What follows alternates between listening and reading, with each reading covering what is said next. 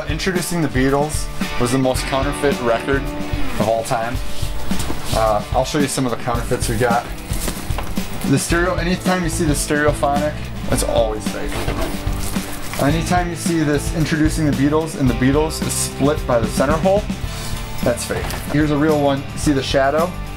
And here's the real label. Introducing the Beatles and the Beatles is both on top of the center hole. Now that one, anyone should be able to pick that out. This looks like they photocopied it. And when you compare it to this, how look at the faces, how there's detail in the faces in the real one. Look at the color band. There's no green in it. Here's a real one. That's what they should look like.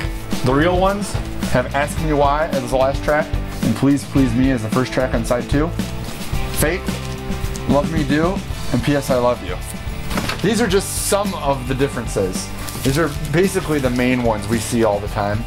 Uh, but to determine if you have a real one, it has to pass all those tests. So that's just a little piece of uh, record history and record counterfeits and how to tell what's fake and what's real. Just part of my day job here.